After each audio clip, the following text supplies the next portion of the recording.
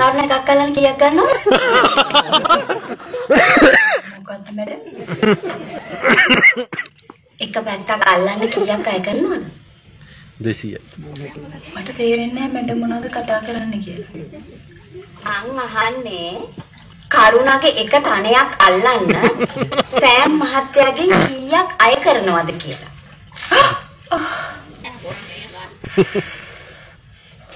අඩෝ කපා ගත්ත නේද?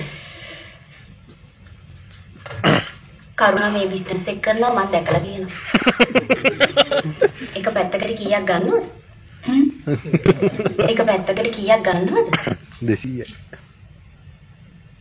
200යි. මං කීයක් ගන්නද?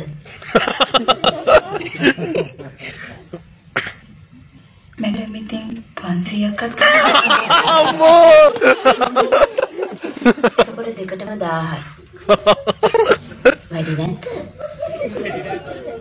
මැඩම්ගේ ඉතින් වැඩි වටිනවනේ. ඇඟිලි දෙමා ගන්න එපා. මම මැල්ලුවා දාන්න. කවුරුත්.